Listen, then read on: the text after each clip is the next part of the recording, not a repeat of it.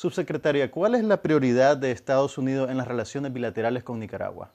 Bueno, estoy aquí precisamente para recalcar nuestro compromiso de tener relaciones constructivas, eh, apoyar a la gestión de la embajadora eh, Phyllis Power en todo su trabajo, eh, recalcar nuestro interés, así como en nuestro país, de fortalecer las, las instituciones democráticas y, y, todos los valores y principios que eso conlleva. ¿Está contemplado un programa específico de cooperación con la policía y el ejército? No, no hemos conversado, en realidad en mi visita no hemos ah, hablado de, programas específicos de esa, en el tema. Lo que sí puedo decir es que apreciamos la cooperación que hemos tenido hasta ahora en, en llevar a cabo algunos casos específicos, lo cual hemos eh, concluido exitosamente y esperamos tener una cooperación en el futuro eh, en, en, ese, en esa área. Entiendo que parte de los motivos de su visita tiene que ver con evaluar a Nicaragua de cara a la emisión del waiver que año con año se, se, se presenta. ¿Cuántos casos de propiedad están pendientes para este año? Eh, bueno, quiero aclarar que yo no vengo a evaluar a Nicaragua en su gestión. los expertos están trabajando ese tema. Eh, han habido avances eh, en el número de casos resueltos. Eh, tengo entendido que el último número es 58, lo cual hay que reconocer el avance. Sin embargo, hay todavía, tengo entendido, un número que todavía tiene que resolverse y vamos a seguir hablando con el gobierno, e insistiendo que, que esos casos se resuelvan, eh, dada la señal que se le da ¿no? a, cualquier tipo de, inversión, el tema de propiedad eh, sigue siendo un tema de interés mutuo. ¿Existe voluntad en el gobierno e interés en Estados Unidos en cerrar definitivamente este proceso o vamos a seguir extendiendo esto año con año? Lo ideal sería que el, número de casos pendientes se resolvieran de una vez, por tanto, para no tener este tema eh, pendiente en, nuestra, nuestro, nuestro diálogo de agendas.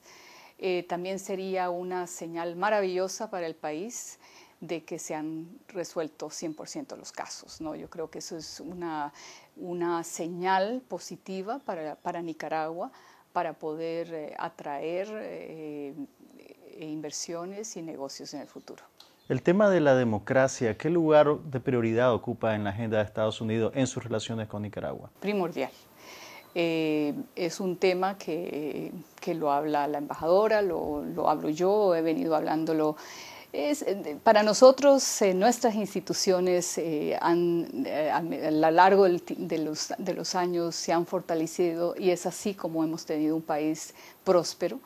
la ciudadanía, sus voces han sido oídas, ha habido libertades, se ha construido, porque la democracia es un proceso, y consideramos que nuestra experiencia y la de otros países en, en el mundo donde la, la democracia es vibrante, ayuda a que todos los ciudadanos prosperen. Y bueno, yo creo que eso es algo que quisiéramos ver también en, la región y por, y por, qué no en Nicaragua, ¿no? También eh, eso, nos beneficia a todos. Los programas de apoyo a iniciativas de la sociedad civil han sido de alguna manera criminalizados por el gobierno de Ortega.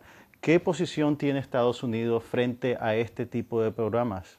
Bueno, no sé si el uso de la palabra criminalizadas es la misma manera que lo entiendo. Lo que sí es cierto es que el apoyo a la sociedad civil es fundamental para cualquier sociedad democrática, eh, eh, tener las voces que representan a, los intereses de los ciudadanos y aportar y fortalecer la ciudadanía para que los ciudadanos puedan eh, aportar a su propio futuro es algo esencial en una democracia.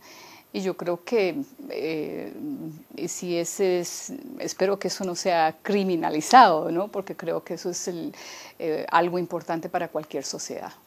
El gobierno de Daniel Ortega está promoviendo actualmente una mega inversión canalera en Nicaragua con una empresa privada china. Un proyecto de esta envergadura tendría implicaciones estratégicas a nivel regional. Eh, ¿Está en el radar de Estados Unidos lo que está sucediendo ahorita en Nicaragua? Bueno, ha sido algo que eh, sé que ha acaparado los medios, mucho de mis conversaciones en, el transcurso de mi visita.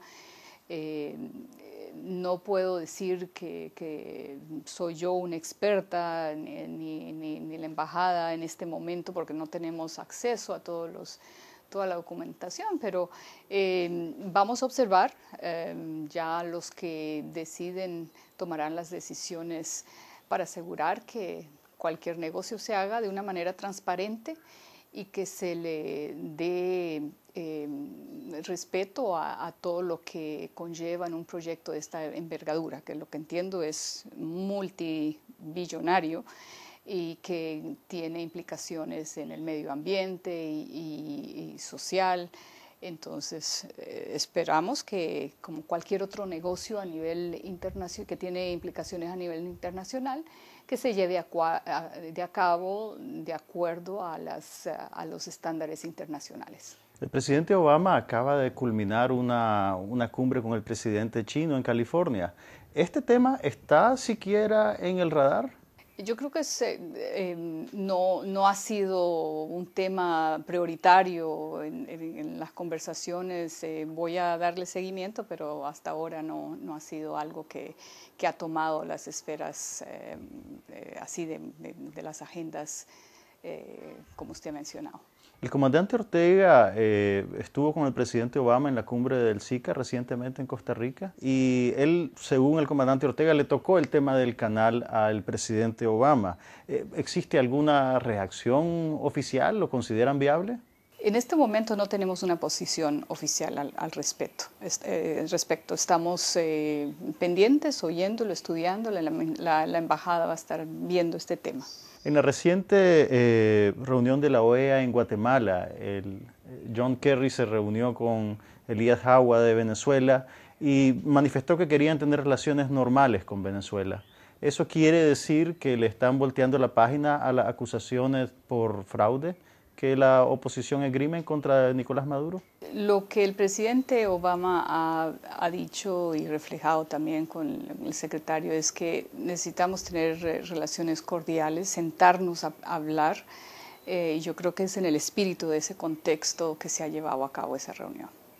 Eh, ¿Qué hay de los ataques que los gobiernos del ALBA han erigido en contra de la Comisión Interamericana de Derechos Humanos? ¿Estados Unidos apoya esta institución?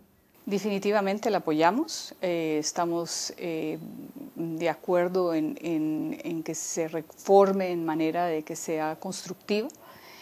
Creo que ha habido un, éxito para nosotros en esta última elección de sus miembros. Eh, salió electo dentro de los comisionados el candidato de Estados Unidos, así que nos sentimos contentos. Ah, es un comisionado independiente, pero representaba eh, el, digamos, el candidato de Estados Unidos y consideramos que eso va a ser positivo para eh, el proceso de la comisión. ¿Tienen ya una estrategia definida para fortalecer esta institución? Bueno, hay gente trabajando el tema, ¿no? Y, buscando todo eso se, va a hacer en consenso, entonces es un trabajo de, tiempo, pero eh, tenemos toda confianza que se vaya a llevar a cabo de, acuerdo a, los, a los objetivos que se buscan, ¿no? Volviendo a Nicaragua, ¿durante su visita tuvo chance de conversar con Daniel Ortega? No, no he tenido la, oportunidad. ¿Con qué funcionarios de su gobierno llegó a, tener comunicación directa? Tuve una reunión con el ministro, el canciller eh, Santos. Eh, ¿Tocaron el tema del canal? El canciller eh, sí elaboró, nos presentó su visión sobre el proyecto.